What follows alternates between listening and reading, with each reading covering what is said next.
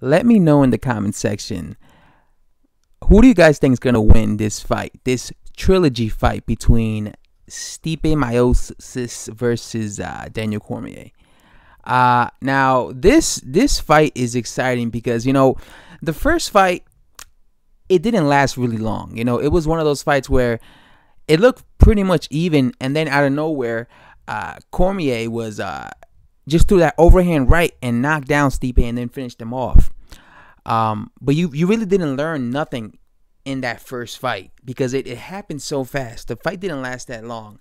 Uh, well, the one thing I did learn was the fact that Cormier was able to hurt Stipe, and Cormier was landing his jabs. Like all that that whole first round, he was landing his jabs. But the second fight was the fight that I found really interesting because the second fight, in the very first round, Cormier brought down uh, Stipe Miocic, and he dominated him on the ground. Like he had him on the ground for the majority of that round.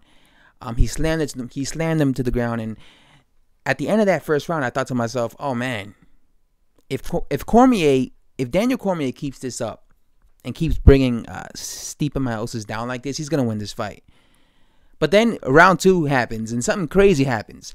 Uh, Cormier, instead of taking uh, Stipe Miocic down again, because I thought he was gonna do that. I thought, okay, he dropped him down so easily, and he held him down the entire, pretty much the entire round he's probably going to do this for the rest of the fight. But what surprised me was what Cormier elected to do was he elected to walk down Stipe, right? He started coming forward and he was being hella aggressive. He was standing up with Stipe. You could tell he wanted to knock out uh, Miles, uh, Stipe Miles. I think he, he wanted to make a statement to try and say like, listen, I'm a I'm a true heavyweight and I'm gonna knock out this big ass heavyweight. but I also think that was the mistake he made. You know, he elected to uh, fight Stipe, and that's when Stipe started having more success. He started catching him. I still think that uh, Daniel Cormier was winning the fight.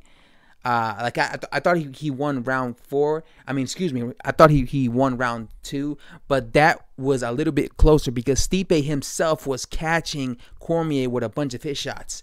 Um, I think one of the mistakes uh, Cormier made was he he was he to me he he he was not showing respect to Stipe. I think he he felt that he could take Stipe's punches, and because he definitely wasn't showing a lot of respect to him, and he was trying to like just walk him down. The third round came along once again. Uh, Cormier was being hella aggressive. They didn't attempt to take each other down. It was a very, uh, it was basically a, a, a boxing match. They were coming in after each other. Cormier was catching him at times. Uh, Stipe was catching him on times. But then round four came along, and that was the round that changed everything because Stipe did something in that fourth round that started turning the tides towards to him. And that was he started throwing body shots. Now that was probably the best time to throw body shots because at this point Daniel Cormier was extremely ex- exhausted. You have to remember he was like for, for for the for the last two rounds, rounds 2 and 3, he was literally marching forward and being the aggressor. You know, he was trying to knock out uh Stipe Miocic and he was exerting a lot of energy doing that. And so by the time round 4 came, at that point, he was already tired. So imagine you got a guy like Stipe, a big ass heavyweight like Stipe. All of a sudden, he starts throwing liver shots. This guy's throwing body shot after body. He kept throwing that left uh, hand to uh, Daniel Cormier's liver over and over out of nowhere. You know, the first three rounds he wasn't doing this, but he he that one tactic that he decided to do in that fourth round, in my opinion, changed the outcome of this fight.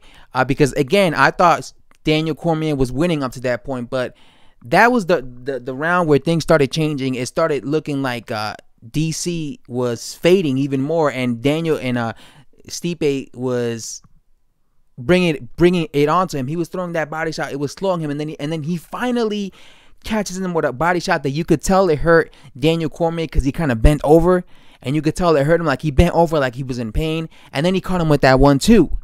And once he caught him with that one too, uh, Daniel Cormier was all over the place, and then he jumped on him and he finished him off, and he, he you know fell against the the cage, the octagon, and uh, Stipe Miocic let his hands go.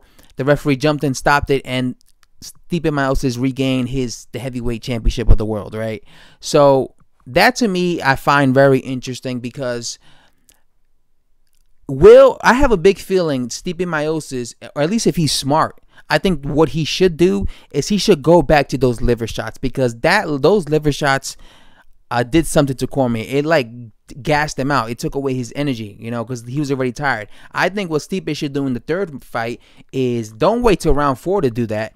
Do that from the opening bell. From the opening bell, go to the go to his body. Um, from the opening bell, go to his body and tire him out. Um, I think if I'm Daniel Cormier, I, I think I'm gonna I if I'm Daniel Cormier, I would take down Stipe because in that in the second fight in that first round, he dominated Stipe Miocic on the ground. He was dominating him in the ground. Um, I'm I, that's why I was so surprised that he elected to just stand up and fight him toe to toe for the rest of the fight.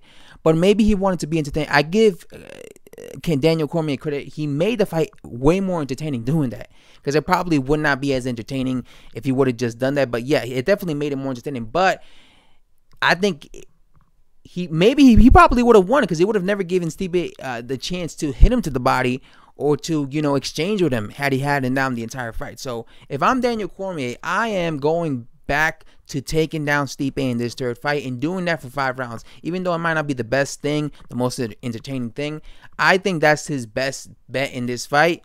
Uh, because I do think that when he elects to, you know, go after Stipe and go toe to toe with him, although he could hit him and he does land and he's really accurate and he he he throws a really good jab, that also gives Stipe an opportunity to, to land on him.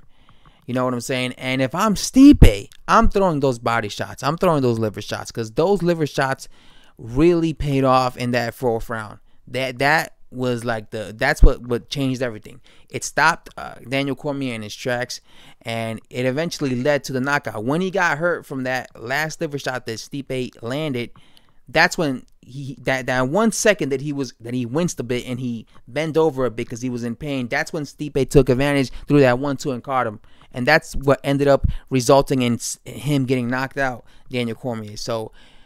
I think he needs to invest in that body. I think somebody's gonna get knocked out in this fight again. That's why I love this fight because somebody always gets knocked out in this fight. So I, I think those are the. I think I just think that they both have to, if they want to win this fight, you have to also keep in mind Daniel Cormier is the older guy.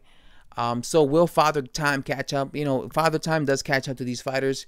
Um, that's another question. You know, will Daniel Cormier will age catch up to him overnight? You know, it might happen. Uh, but like I said, I think those are the things that these guys need to do. I think Daniel Cormier needs to go and take him down and dominate him on the ground with his wrestling. And I think Stipe needs to stay his distance, throw body shots, okay? Throw body shots. And the, the best thing to do for him is to use his striking, you know, because that's what got him the victory the last time they fought. So yeah, that's what I have to say. Who do you guys think is gonna win this fight? Let me know in the comment section of this video, guys, and I'm out. Peace.